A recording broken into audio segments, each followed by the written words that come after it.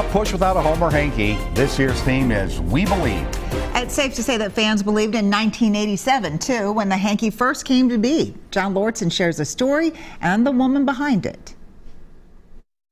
We'd have the um, radios blaring the, the games and stuff. And so I just, I loved baseball. As a kid growing up in Moorhead, Terry Robbins never saw her beloved twins win a World Series.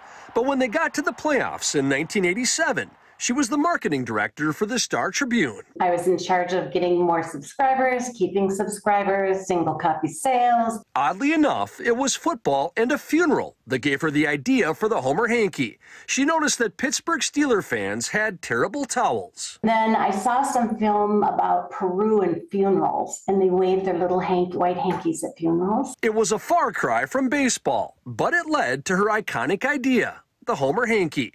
Its original purpose was to help sell subscriptions for the paper, and Terry changed the words to this song, My Baby Does the Hanky Panky, when she pitched the idea to her boss. I said, so this would be changed to My Baby Waves the Homer Hanky, and he starts dancing in his chair.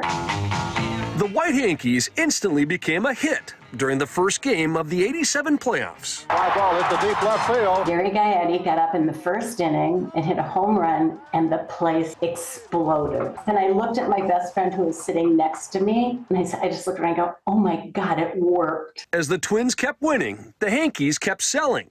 People stood in line for up to three hours to buy them at the Star Tribune. They went around the block. We had to put out portable potties for them to go to the bathroom.